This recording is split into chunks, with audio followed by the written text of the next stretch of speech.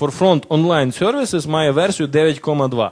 Але разом з тим ми підтримуємо і ну, якщо це хмара, то тут нічого не треба додатково підтримувати. А якщо це на ваших серверах, то може бути версія і 9.1, і 9.0, і без другого сервіспака, який вийшов ще в липні цього року, і так далі. Тому поки ми протестуємо на різних е, версіях програми, то деякий час проходить, і власне цей час він йде на, на це на те, що час реагування росте, але все одно він дуже низький за рахунок того, що хтось один та й спрацює, хтось один з тих п'яти та й спрацює. Е, в конкурентних рішеннях немає цієї дуже суттєвої переваги, немає багатоядерності. Ми майже єдині, хто це пропонує. Вже з'явились деякі постачальники, які дають двоядерність свою і ще чиюсь. Е, Ну, все-таки погодьтеся, п'ять ядер, які можна включити Е, вибравши з восьми, це значно краще, це значно суттєвіший захист. Е, запитання, чому 5 з 8? Е, тому що якщо ви включите всі 5, це буде суттєве навантаження на сервер, і відповідно більше навантаження, в тому числі і на менеджер ядер. Уявіть собі, що з восьми ядер три сказали, що це дуже сувора загроза, і капець буде, якщо пропустити такий лист. Е, ще два сказали, що там взагалі нічого нема, то чисте повідомлення. А два сказали, та загроза є, але вона не суттєва, можна покласти в карантин, хай собі там розбираються. А Як вирішити такий конфлікт? За якими правилами е, вважати, що це загроза чи не загроза? На даний момент ми приймаємо максимально. Тобто, якщо хоч хтось сказав, що це загроза, ми кажемо, що це загроза. Все. Тобто, тим самим ну, е, краще заблокувати лист, який можна отримати іншим способом, ніж пропустити якусь небезпечну загрозу і не своєчасно відреагувати на якусь вірусну атаку. Е, але перша причина це все-таки зменшення навантаження на Exchange. Forefront е, Protection for Exchange ставиться на Exchange сервер. І при тому дуже легко порахувати capacity, дуже легко порахувати ємність, яка потрібна для Forefront Protection for Exchange. Приблизно 100 МБ на кожне ядро. Якщо ви включили 5 ядер, це 500 мегабайт. Якщо врахувати, що будь-який нормальний Exchange це приблизно 4 потоки, ну, всі програмні, нормальні програмні продукти, вони багатопоточні. Е, відповідно, ми маємо 4 потоки по 500 мегабайт, ми маємо приблизно 2000 мегабайт оперативної пам'яті на роботу Forefront Protection for Exchange. Насправді, Forefront Protection for Exchange дуже ефективна, е, дуже ефективна в тому відношенні програма, тому що вона е, не є вимогливою до процесора вона не є вимогливою ні скілечки до жорсткого диску, їй все одно, що з жорстким диском. Вона максимум тримає в оперативній пам'яті для того, щоб дуже швидко обробляти всі повідомлення. Але пам'ять все-таки потрібна, і донедавна ще були присутні 32-бітні платформи. На 32-бітних платформах 4 МБ, навіть 3,5 ГБ, перепрошую, оперативної пам'яті. Це не ті обсяги в які можна додати ще своїх е, вимогу. Дайте мені ще 2 гігабайти тільки на роботу захисту. Тому, тому тільки 5 ядер. Це одна з причин.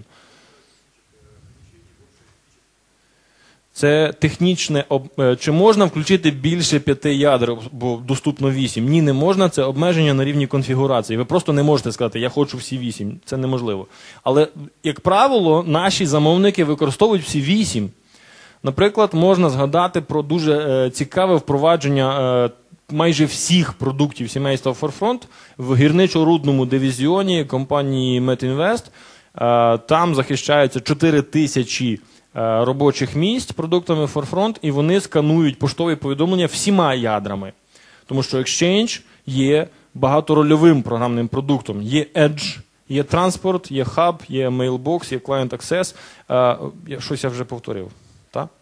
Я не є спеціалістом дуже добрим в Exchange, але на Edge працює три ядра, на Client Access нічого не працює, там, як правило, не треба. На Mailbox працюють чотири інших ядра і так далі. Тобто, поки повідомлення попаде до клієнта, воно буде проскановано всіма вісьмома ядрами. Більше того, якщо частково зачепити питання, яке задавав ваш колега коли він відсканував ядром Касперський, на вході він вже не буде повторно сканувати ядром Касперський в мейлбоксі. Тому що Mailbox це так, ну якщо вже раптом вже щось пройшло, то вже там відскануємо. Якщо це не зовнішній лист, а внутрішній. Mailbox теж сканується, але, як правило, не дуже активно. Тобто є можливість відсканувати різними ядрами впродовж проходження листа по різних серверах. І це, як правило, так і роблять. Якщо казати не тільки про вірусний захист, але й захист від спаму, то захист від спаму та він є в самому Exchange, але в самому Exchange він базовий.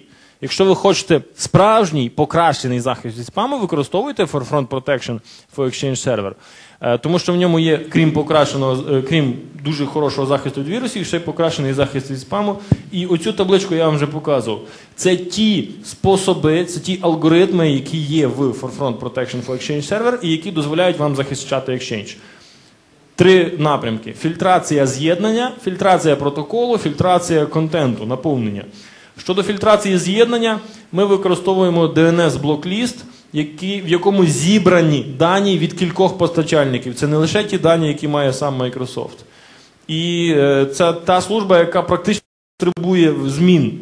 Якщо завтра виявиться, що якась погана організація зареєструвала цілу купу е, нових адрес, нових доменних імен їх використовує е, в своїх злочинних цілях, вам не треба руками додавати в блок-ліст нові адреси. Це автоматично виконується е, за рахунок е, можливості автоматичних поновлень цього ж Forefront Protection for Exchange. По-друге, фільтрація протоколу, причому фільтрація по Sender ID. Вона, як ви знаєте, є одною з найбільш ефективних. Більше 70% спаму можна відфільтрувати просто по Sender ID. І е, ми використовуємо е, цей підхід. І крім того, ми використовуємо ем, е, захист від так званих бекскетер листів. Досить неприємна річ, яка не так давно стала практикуватися в спамових активностях. Так званий non-delivery report. Та? Тобто, коли нібито від вашого імені кудись ішов лист, і потім він повертається, що ваш лист не було відіслано, а це є спамом. Він проходить традиційні спам-фільтри, але в нашому випадку він не пройде, тому що ми вміємо і такі листи відфільтровувати. І нарешті фільтрація контенту, фільтрація наповнення. Тут у всій красі результати нашої співпраці з CloudMark. Е, результати однієї з найкращих фільтрацій по типах файлів. Знову ж таки, якщо повертатись до ефективності спамової фільтрації, ви закриєтесь від 80% всіх загроз, якщо просто забороните пересилати всього-навсього три типи файлів. Хто знає які? Екзе, це зрозуміло, це виконувані файли. Які ще? Скрипти. Версій багато. Ну добре, я залишаю це на, на ваш розсуд. Просто заради цікавості зайдіть і почитайте, які три типи файлів можна заблокувати і закритись від більшості загроз. Forefront вміє це робити, причому робить це дуже ефективно. Він дивиться, звісно, на розширення, на екстеншн файлу, але насправді він вміє, крім розширення файлу, дивитися ще й на заголовок файлу. Тому що ви знаєте, як обходити захист від пересилки exe файлів. Берете цей файл, перепишете, що це не exe файл, а zip файл, і тут же, нічого більше не роблячи, його відсилаєте. Ваш захист не спрацьовує, файл проходить, файл не вертається як невідісланий, і ви в листі пишете: Я тобі відсилаю файл, перейменую його з zip в exe і запускаю, воно все працює. З форфронтом такий фокус не пройде. Forefront дивиться на заголовок файлу, і він знає, чи це є виконуваний файл, і він такий файл заблокує, якщо ви вказали йому блокувати виконувані файли. Крім того, Forefront вміє дивитися на архіви, і що дуже суттєво, він вміє дивитися на архіви, е, стиснуті з максимальним ступенем компресії. Причому підтримуються і ZIP, і RAR архіви. Е, Це, як мені здається, є великою перевагою, тому що донедавна, я не знаю, як зараз, але донедавна деякі наші конкуруючі рішення е, не вміли розпаковувати архів, якщо він запакований з максимальним ступенем компресії, або якщо він запакований з паролем. Власне, запаковані з паролем рішення також можна фільтрувати, але це є окрема тема для розмов.